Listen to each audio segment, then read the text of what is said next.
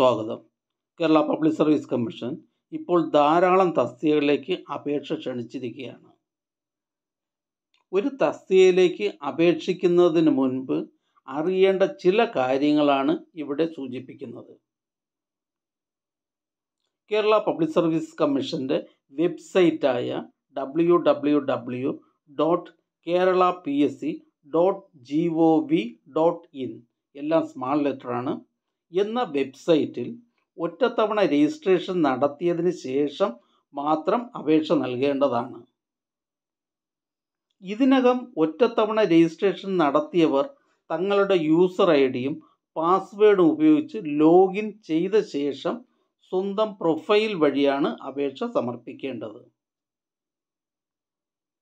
ഓരോ തസ്തികയ്ക്ക് അപേക്ഷിക്കുമ്പോഴും നോട്ടിഫിക്കേഷൻ ലിങ്കിലെ അപ്ലൈ നൗ എന്നതിൽ ക്ലിക്ക് ചെയ്താൽ മാത്രം മതി.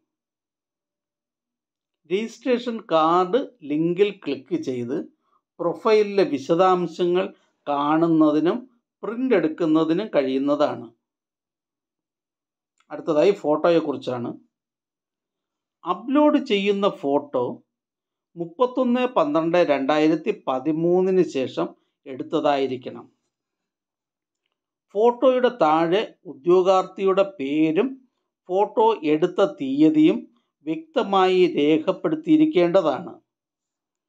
ഒരിക്കൽ അപ്ലോഡ് ചെയ്ത ഫോട്ടോയ്ക്ക് പത്ത് വർഷത്തെ പ്രാബല്യമുണ്ടായിരിക്കുന്നതാണ്. ഒന്ന് ഒന്ന് രണ്ടായിരത്തി ഇരുപത്തിരണ്ടിന് ശേഷം പുതുതായി പ്രൊഫൈൽ ഉണ്ടാക്കിയവർ ആറ് മാസത്തിനകം എടുത്ത ഫോട്ടോ വേണം അപ്ലോഡ് ചെയ്യേണ്ടത്. അടുത്തതായി സർട്ടിഫിക്കറ്റുകളെ കുറിച്ചാണ്.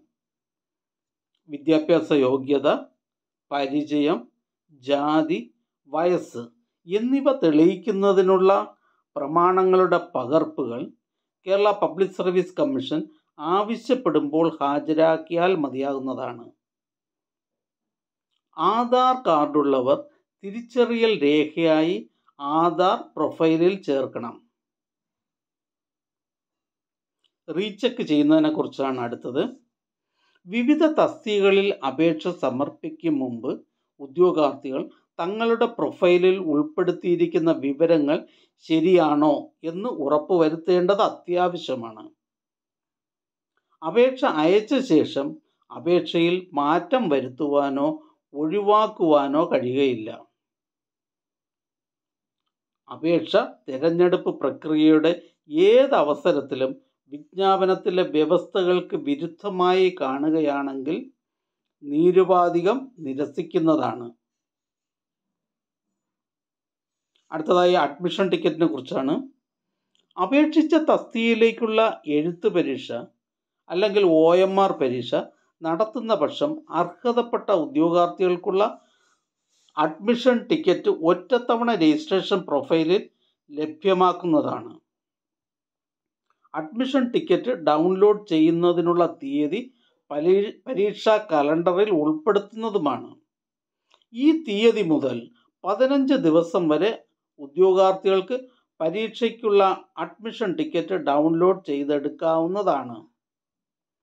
അഡ്മിഷൻ ടിക്കറ്റ് ഡൗൺലോഡ് ചെയ്ത ഉദ്യോഗാർത്ഥികൾക്ക് മാത്രമേ കേരള പബ്ലിക് സർവീസ് കമ്മീഷൻ പരീക്ഷ എഴുതുന്നതിനുള്ള സൗകര്യം ഉണ്ടാക്കിയിട്ടുള്ളൂ. കൂടാതെ കേരള പബ്ലിക് സർവീസ് കമ്മീഷന്റെ വൺ ടൈം രജിസ്ട്രേഷൻ നടത്തുന്നതിനെക്കുറിച്ച് അറിയേണ്ട കാര്യങ്ങളെക്കുറിച്ചും കേരള പബ്ലിക് സർവീസ് കമ്മീഷന്റെ പ്രൊഫൈലിൽ ജനന തീയതി എങ്ങനെ തിരുത്താം എന്നതിനെക്കുറിച്ചും ഡയബറ്റിക് രോഗികൾക്ക് പി എസ് സി പരീക്ഷാ ഹാളിൽ ലഭിക്കേണ്ട പ്രത്യേക പരിഗണനയെക്കുറിച്ചും ഉള്ള മൂന്ന് വീഡിയോകൾ ലിങ്ക് എന്റെ സ്ക്രീനിൽ നൽകുന്നുണ്ട്. ആവശ്യമുള്ളവർക്ക് ആയത് കാണാവുന്നതാണ്.